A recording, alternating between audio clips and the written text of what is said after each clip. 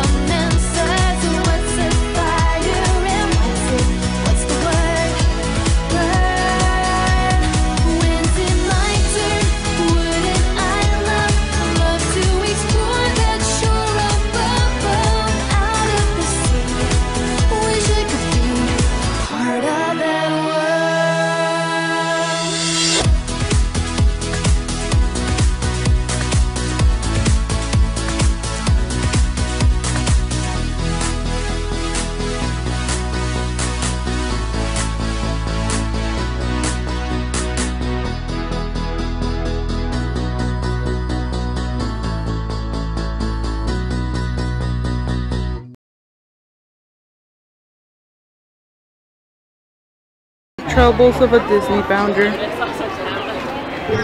Taking pictures and there's a ton of line waiting.